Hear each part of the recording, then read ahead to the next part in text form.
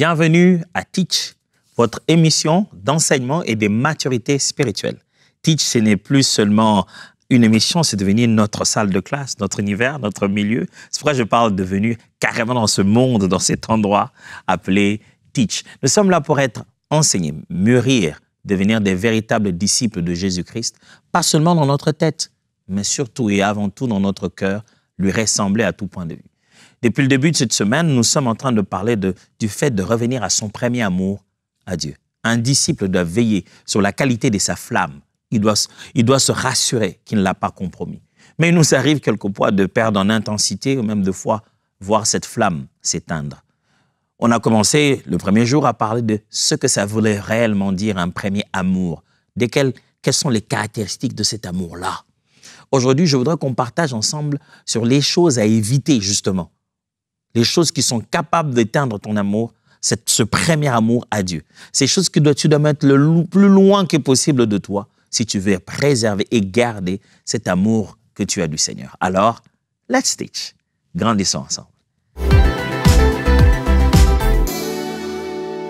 Je voudrais avec vous, mes frères et sœurs, répondre à la question, quelles sont ces choses qui refroidissent, qui qui font diminuer cette flamme d'amour, cet élan, ce type de relation avec Dieu. Et évaluer toutes sortes de, de couples, de mariages, toutes sortes de des relations solides et durables. Si vous voulez vous faire rapidement une petite liste, ce serait quoi? Qu'est-ce qui éteint, par exemple, l'amour dans un couple? Qu'est-ce qu'un couple devrait éviter pour maintenir une bonne flamme d'amour? On se donne cet exercice rapide. Ce serait quoi, par exemple? Euh, C'est que les couples doivent éviter, rapidement. Ce serait quoi? Euh, éviter les mensonges, par exemple?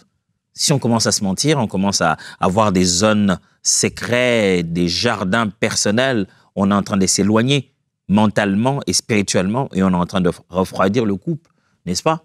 Euh, Et, euh, éviter de, transformer toute la vie en routine. Il faudrait la pimenter des fois de la bonne manière, en ayant à mangeant un resto, en, en faisant d'autres choses. Une forte routine peut lasser les autres. Il y a plein de choses qu'on peut citer, n'est-ce pas? Je suis sûr que vous avez des meilleurs arguments d'ailleurs. Il en est de même lorsqu'on est dans notre relation avec le Seigneur. Cet amour qu'on appelait le premier amour devrait être intentionnellement maintenu. Je l'ai dit hier, au début, on commence par des réflexes. On vient de naître, on n'est que des enfants. On commence par faire des choses dont on ne comprend pas pourquoi on le fait. D'ailleurs, on n'a pas saisi toute la pertinence, mais on sait que ces choses-là, elles étaient bonnes, elles étaient utiles, elles étaient à la base. C'est comme ça qu'on devrait faire. Mais avec le temps, on sent que quelque chose s'est perdu. On ne sait plus dire c'était quoi exactement. L'amour n'est plus le même, la passion n'est plus la même. On sait que quelque chose est parti. Et on commence à s'inquiéter, on veut revenir à ça.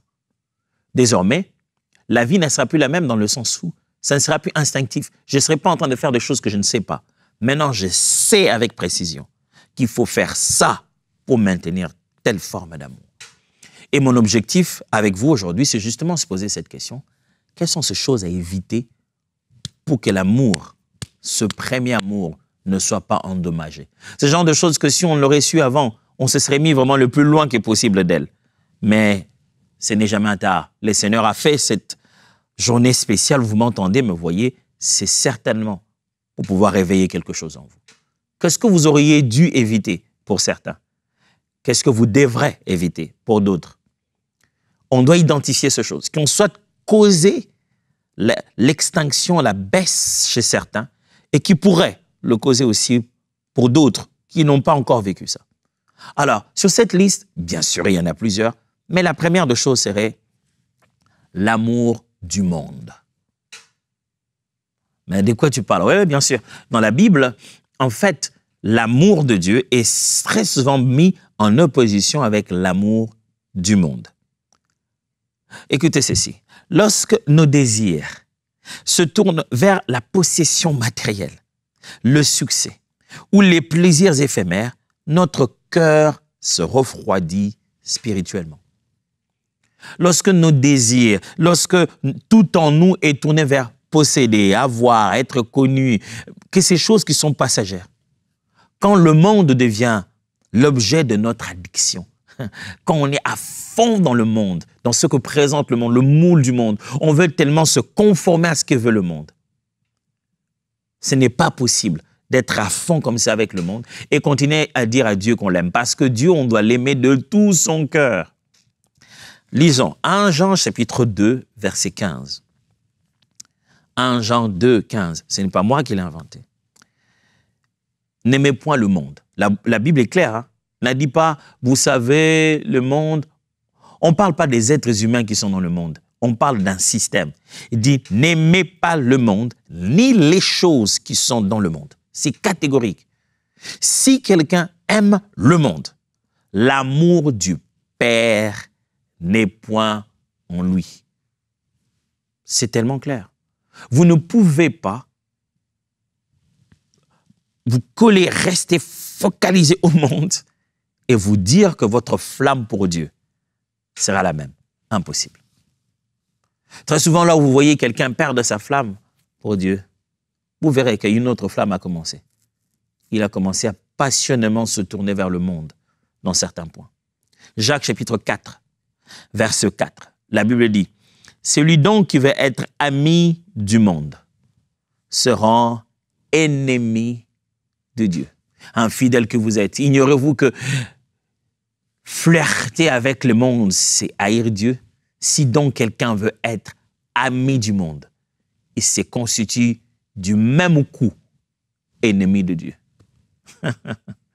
si quelqu'un veut être ami du monde, il se constitue du même coup ennemi de Dieu. Il ne faut pas flirter avec le monde, a dit la version, la, version à parole vivante tout à l'heure. Ne jouez pas avec le monde, mes amis. Et ne, jouez pas en vous disant, bon, je connais la limite en tant que chrétien, je peux me limiter à là, je ne serai pas arrivé jusqu'à là-bas, je, vais me gérer. Hum, il y a des choses pour lesquelles tu seras gérer. Tu veux garder ton amour avec le Seigneur, il est, il est mieux pour toi d'être encore radical que de tenter à l'équilibriste. Vaut mieux pour toi être complètement radical que de tenter. Vous savez, quand vous allez chez un médecin, vous avez une fièvre, vous avez quoi que ça, vous avez des symptômes. Il y a des jours vous venez, il vous dit, bon, OK, ah, je vis la fièvre, je vis les symptômes que vous donnez. On peut vous traiter en ambulatoire, donc vous pouvez rentrer chez vous et continuer à prendre des médicaments. Mais à ce jour, vous êtes venu par vous-même, vous avez conduit vous-même, vous arrivez, le médecin prend vos, l'infirmière prend vos paramètres, vous allez voir le médecin, il a les résultats, il dit, oh, amenez-les tout de suite dans une salle. Vous avez l'impression que, oh, mais qu'est-ce qu'il y a? Je vais bien. Non, non, amenez-les rapidement dans une salle. Oui, oui, oui, monsieur, vous devez vous coucher. Oh, oh, qu'est-ce qu'il y a? Je vais bien, moi. Le médecin sait que vous êtes au bord. Vos paramètres intérieurs disent, vos paramètres intérieurs disent, vous êtes en train de mourir. Il y a bien de chrétiens qui conduisent, qui marchent, qui vont à l'église, qui y rentrent. Mais leurs paramètres intérieurs disent, ils sont en train de mourir. Personne ne le voit. On continue à les utiliser à, la chorale parce qu'on aime leur voix. On continue à les laisser prêcher parce qu'ils parlent bien. On continue à les, en les saluant au culte, ils ne servent pas euh, ils ne sont pas nécessairement à, fond en train de servir quelque part. On les salue, oh mon frère, ma soeur, gloire à Dieu, alléluia mais on ne sait pas voir à l'intérieur d'eux qu'ils sont en train de mourir parce qu'ils sont devenus amoureux du monde. J'ai une question pour vous. Est-ce que vous avez repris à aimer le monde? Deuxièmement, quelles sont les choses à éviter pour protéger justement sa flamme qu'on a et qu'on exprime avec Dieu? La deuxième des choses à éviter, c'est la négligence spirituelle. OK. Négligence spirituelle. L'idée ici, c'est l'idée de l'indifférence et de l'éloignement aux choses de l'esprit et d'un manque de discipline. L'indifférence spirituelle laisse place à l'iniquité et au péché qui refroidissent notre amour pour Dieu. Quand vous commencez à devenir négligent pour les choses de l'esprit, la Bible dit ce qui est né de la chair est chair, ce qui est né de l'esprit est esprit si vous s'aimez pour la chair, vous récolterez pour de la chair la corruption. Mais si vous s'aimez pour l'esprit, vous récolterez la vie éternelle. Si vous commencez, vous, à négliger ce que vous devez s'aimer pour l'esprit, le résultat est même que quand vous êtes à fond dans le monde. Quand vous négligez ce qui est de l'esprit, le résultat est exactement le même que quand vous êtes attaché à la chair. Hébreux chapitre 2, verset 1. Lisons. Hébreux chapitre 2, verset 1. Puisque Dieu nous a parlé par son Fils, nous devons prendre d'autant plus au sérieux les enseignements que nous avons reçus et nous y attacher fortement. Autrement, nous risquons d'être entraînés à la dérive par le courant de notre temps et de manquer le but. Il dit, puisque Dieu nous a parlé par son Fils, il s'est révélé à nous, restons donc dans ce que nous avons connu comme étant véritable. Demeurons dans cette nourriture spirituelle, la parole de Dieu. Matthieu chapitre 4, verset 9 à 13. Je vais lire Matthieu chapitre 4, verset 9 à 13. Alors, on vous livrera à la torture et l'on vous mènera au supplice. Tout le monde vous détestera parce que vous portez mon nom. À cause de cela, beaucoup de gens abandonneront la foi. On se dénoncera mutuellement. Et cela suscitera beaucoup de haine entre les uns les autres. De nombreux faux prophètes surgiront et ils entraîneront beaucoup de gens dans l'erreur et comme les gens vivront de plus en plus sans foi ni loi et que le mal fera des progrès constants, l'amour du plus grand nombre se refroidira. Mais celui qui tiendra ferme jusqu'au bout sera sauvé. Nous sommes dans une période de la vie où tout ce qui est spirituel, tout ce qui est l'amour de Dieu, la crainte de Dieu, est en train de se refroidir. Ah, il y a une passion de la spiritualité. Je veux presque dire du spiritisme, de contrôler ces esprits, d'avoir un super pouvoir. Mais la piété n'est plus. Les gens, la Bible dit, dans les derniers jours, les gens deviendront irréligieux. Ils seront ennemis de Dieu. Aujourd'hui, les choses qui concernent l'esprit, les choses qui concernent la parole de Dieu, qui concernent les, vérités éternelles, le monde ne l'encourage pas. Les gens qui nous entourent n'encouragent pas ça. Et quand toi, en tant qu'enfant de Dieu, tu commences à négliger ces choses-là, tu passes deux, trois, quatre jours, cinq jours, euh, tu n'as pas lu ta parole, tu n'as pas lu la Bible, tu n'as pas eu le temps de la prière, mais ça ne te fait rien. Évite cette négligence. Si tu commences à remarquer en toi que ça fait deux, trois, quatre, cinq, six jours, une semaine, deux, trois, quatre semaines, tu vas commencer à perdre cet élan. Réveille-toi. Réveille-toi. Tu réussis pourtant à aller au sport. Tu réussis pourtant à aller au boulot tous les jours, même quand tu es fatigué et énervé. Tu réussis pourtant à aller à l'école, même quand tu n'en as pas envie et tu détestes ce prof-là. Il y a bien une façon de reprendre la discipline de choses spirituelles. Ce n'est pas sans conséquence. Ce n'est pas Dieu qui va, te, qui va te frapper si tu n'as pas prié. Ce n'est pas la colère de l'Éternel qui s'abattra sur toi parce que tu n'as pas lu la Bible. Non. C'est simplement toi-même qui ne te fortifie pas assez. C'est pour toi, c'est pas pour Dieu.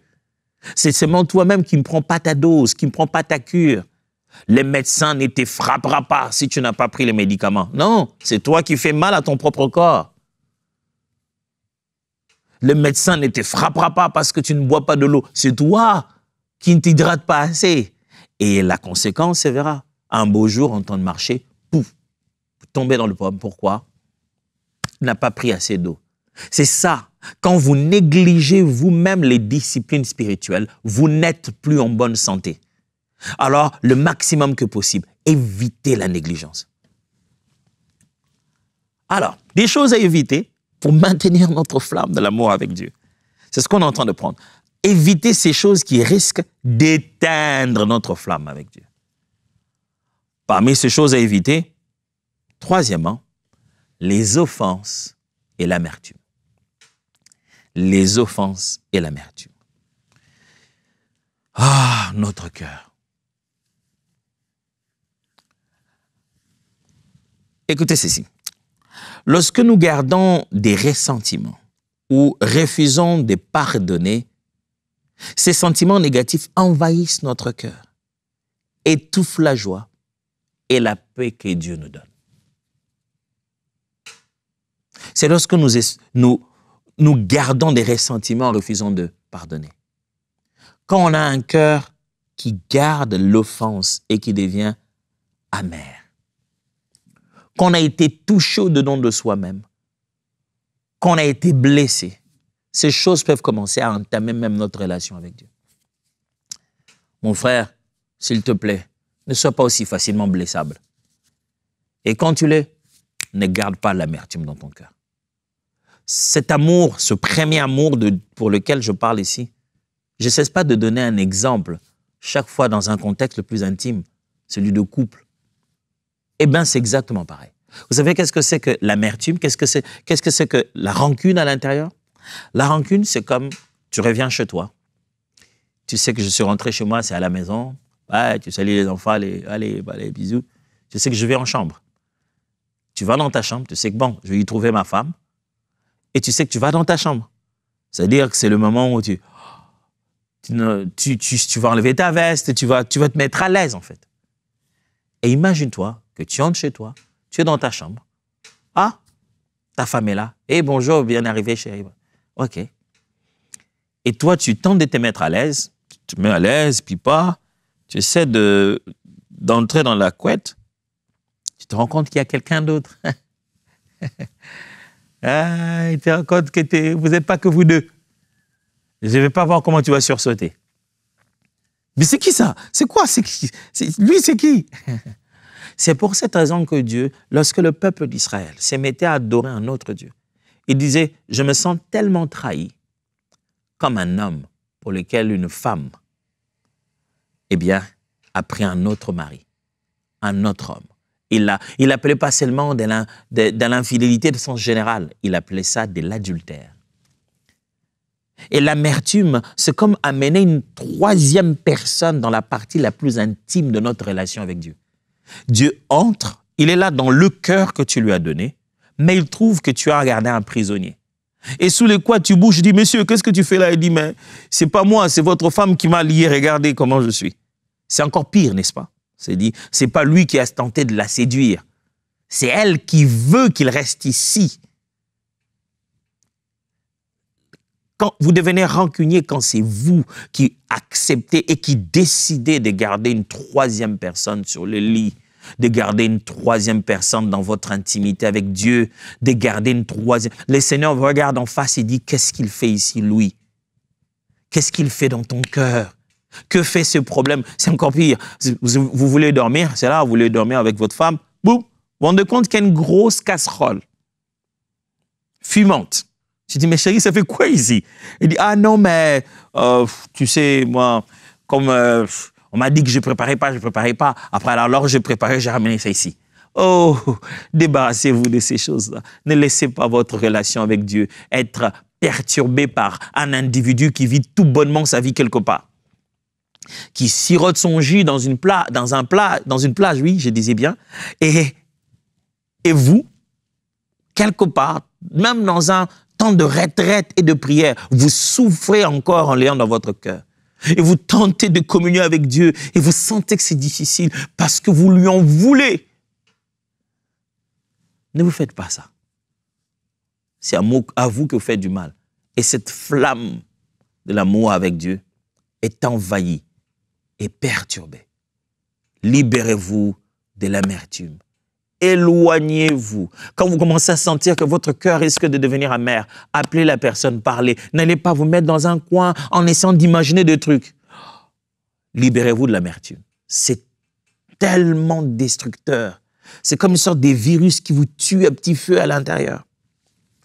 Matthieu chapitre 6, versets 14 à 16, 14 à 15. Matthieu 6, 14 à 15. Si vous pardonnez aux hommes leurs offenses, votre Père céleste vous pardonnera aussi. Mais si vous ne pardonnez pas aux hommes votre offense, vous ne pardonnez pas aux hommes, votre Père ne vous pardonnera pas non plus vos offenses. Voyez ça? Il y a être offensé et offenser les autres. Alors ne te sens pas tout le temps offensé seulement, parce que toi aussi tu es en cause des offenses. Alors libère les autres de leurs offenses et tu te libères. C'est comme si tu disais à Dieu, euh, vous savez, en fait, en vérité, ce texte ne signifie pas que demander pardon doit toujours s'exprimer par une prière. C'est vrai, celui qui confesse ses fautes et les délaisse, dit la Bible, obtient miséricorde. Mais le pardon du péché, ce n'est pas toujours un, discours. Oh Seigneur, pardonne-moi. Non, c'est pas seulement un discours, mais c'est aussi une vie. Euh, Je n'enseigne pas aujourd'hui sur le pardon du péché. Il y a plusieurs bases bibliques sur lesquelles nous sommes pardonnés. Il y a la croix de Jésus, son, offrande à la croix pour nous, ainsi de suite. Mais il y a aussi ici cette base selon laquelle Dieu regarde et dit, t'as pardonné qui? Euh, Personne. Donc, tu as refusé de pardonner les gens? Ouais. Mes amis, aussi bizarre que cela vous semble, aussi invraisemblable, ce texte dit, Dieu dit, bah, toi non plus, tu n'es pas pardonné. Vous pensez que quand Dieu ne vous pardonne pas, il vient vous dire que tu sais, toi, je t'ai pas pardonné, hein? Non, il vient pas vous le dire. Comment je saurais que moi je suis pardonné? Parce que je pardonne aussi aux autres. Ah bon? Oui, parce que Jésus a dit, si vous, vous ne pardonnez pas aux autres leurs offenses envers vous, eh bien votre Père qui est dans le ciel, là-bas, ne vous pardonnera pas non plus. Il y a des gens qui pensent être pardonnés par Dieu pendant qu'ils ne le sont pas. Pour quelle raison? Pas parce que Dieu n'est pas mort et que Jésus n'est pas mort à la croix. Non, non, non, pas sur cette base-là. Parce qu'eux-mêmes continuent encore à retenir dans leur cœur d'autres personnes qui les ont offensés. Hébreu chapitre 12, verset 15. Veuillez à ce que personne ne se prive de la gloire, de la grâce de Dieu, à ce qu'aucune racine d'amertume ne pousse des rejetons pour troubler et que plusieurs n'en soient infectés. Waouh! Voyez comment l'amertume trouble, infecte. Mon frère, ma soeur, tu veux rester dans un amour pur, authentique, la flamme d'amour avec Dieu. Débarrasse-toi, évite et débarrasse-toi de l'amertume. Alors, quatrièmement, parmi les choses à éviter, justement, il y a l'orgueil spirituel. J'ai mis spirituel puisque voilà, on parle ici de son amour avec Dieu et tout. Mais j'aurais pu m'aider seulement avec le mot orgueil. Qu'est-ce que j'entends par là? Cet orgueil nous amène à penser que nous sommes autosuffisants ou supérieurs. Supérieurs aux autres. Et ça nous éloigne de la dépendance à Dieu, rendant notre cœur dur, insensible à sa grâce. L'orgueil nous fait croire que ça va, on n'a pas beaucoup vraiment besoin d'aide, ça, ça va, tu sais, on peut le faire par nous-mêmes à 100%. Et en regardant les autres, on le voit, on se regarde soi-même comme supérieur. Et ça aussi, ça nous pousse à nous dire, j'ai la chose, je n'ai pas tout le temps besoin de Dieu. Je viens voir Dieu un peu comme un genre de fétiche. Seigneur, je te rends grâce, je suis sur le point de faire, tu sais, je sais bien faire ça. Mais je veux juste te rendre grâce, tu sais, je touche un peu. Seigneur, je veux juste, voilà, Amen, Amen, je veux le faire, je veux le faire. Non, tu cesses de croire et de savoir que sans lui, je ne peux rien faire. Même ce que je pense faire, je ne le peux pas sans lui. Proverbe 16, 18 le dit si bien. Proverbe 16, 18. L'orgueil précède la ruine et l'esprit hautain précède la chute. Si tu n'en es plus là où tu étais dans ton amour avec Dieu, regarde très bien les coins et recoins, dans, les, dans, les, dans, le, les petits coins là-bas, ça se cache de fois. C'est tellement subtil. Va chercher à l'intérieur si tu n'es pas devenu orgueilleux. Certains ont été devenus si orgueilleux de leur amour d'avant, de leurs premiers ailes, que l'orgueil a étouffé leurs ailes. Aujourd'hui, ils se comparent ils se comparent tous les jours à ceux qui sont moins que eux, en croyant que eux, ils ont évolué. Et puisqu'ils pensent qu'ils valent ce qu'ils le valent, ils ne le valent que en comparaison à ceux qui sont moins que eux. Ils ont cessé de grandir. Ils ont cessé de s'aimer. Ils ont cessé d'aimer le Seigneur. Ils ont cessé de vivre leur amour avec Dieu. 1 Pierre chapitre 5, verset 5. 1 Pierre 5, 5. De même, vous qui êtes jeunes, soyez soumis aux anciens. Et tous, dans vos rapports mutuels, revêtez-vous d'humilité, car Dieu résiste aux orgueilleux, mais il fait grâce aux humbles. Dieu se donnait une mission de résister aux orgueilleux. Waouh! Et tu penses que vous serez dans un même amour? Tu seras toujours dans ton premier amour quand tu, tu entres dans le camp de ceux à qui Dieu résiste? On a changé de verbe là. Vous n'êtes plus dans l'amour. Vous êtes dans l'opposition. Quand il retrouve de l'orgueil commence à demeurer dans ton cœur, il ne vient plus juste pour te montrer tout, tout son amour, mais il vient aussi pour te dire, ça, je n'aime pas. Je ne sais pas où vous en êtes avec Dieu. Mais si vous voulez éviter des choses qui peuvent éteindre cette flamme de votre amour avec Dieu, J'en ai cité que quatre. Mais mieux que moi, vous le savez par vous-même. Qu'il y a ça, ça, ça, ça et ça que je dois abandonner. Puis-je prier avec vous? Adonai, notre Père, Abba. On le reçu avant, on aurait évité. Surtout le dernier point, l'orgueil. L'orgueil est tellement subtil qu'avant qu'on vienne nous dire tu es orgueilleux, les gens, ils l'ont vu depuis longtemps. Très peu de gens autour de nous nous disent que ça, c'est de l'orgueil dès la première seconde. Non. Ils nous laissent le faire, ils nous le faire, ils commencent à se dire, mais lui, il est orgueilleux. Et des fois, ils ne le disent jamais. On l'entend de loin. Et pendant tout ce temps, ils ne l'ont pas dit. Quelle était notre relation avec Dieu? Oh Seigneur, je t'en prie. Aie pitié de nous. Apprenons à regarder les autres comme étant au-dessus de nous-mêmes et n'est pas se sentir autosuffisant. On a appris bien de choses dont on doit se mettre vraiment loin si on veut garder notre amour avec toi. On ne le savait pas, Seigneur. Mais merci de nous l'avoir appris. Maintenant, nous devenons attentifs. Maintenant, nous, nous sommes aux aguets parce que nous voulons garder cette relation dans la flamme et dans la beauté de tout ce qu'elle peut apporter.